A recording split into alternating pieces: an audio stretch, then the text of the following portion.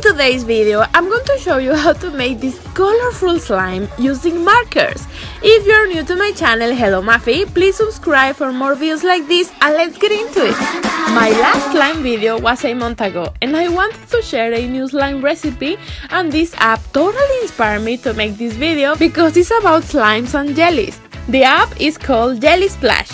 This game is totally free and it's available on Facebook, Android or iPhone.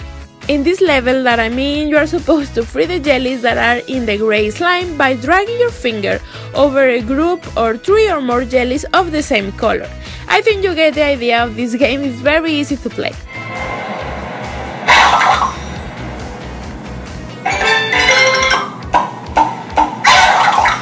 The Brazilian Carnival is about to start. And if you collect all of these Brazilian carnival items, the jellies will thank you with the coolest rewards. There's also going to be a lot of sales if you want to buy coin packs to get extra moves or extra life. You should totally download this game, it's free, and I'm going to leave the link down below if you want to play. To make this bright and fun slime, you will need Elmer's glue. You can use white or clear, it's up to you. Then you will need the markers of your choice. I decided to use the Mr. Sketch ones because they are scented and these were my favorite markers back in the 90s. We're going to need to remove this white cap that is at the end of the marker. Use scissors to remove this or ask for help if you think you need some. If you don't want to stain your hands, use some gloves. And then take a clip or something pointed to remove the ink from the markers. We only need one or two drops of the ink of the marker, so squish it a little bit to add color to the slime. If you add more than two drops, the slime is going to stain your hands, so be careful with that.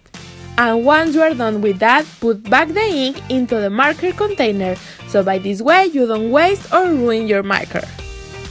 Now for the next step, you can use borax or liquid starch. You can find both at Walmart. Add just a tiny amount of liquid starch and quickly mix it until you see that the glue is turning into slime. At first it's going to be extra sticky, but the more you play with the slime, the less sticky it gets. And if it is too sticky, you may need to add more liquid starch. And you can mix and play with different color slime to make this rainbow one, and it looks super cool.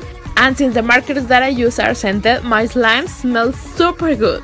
And that's it for today's video guys. Let me know in the comments what video do you want to see next. I love you guys so much and I will see you in my next video. Bye!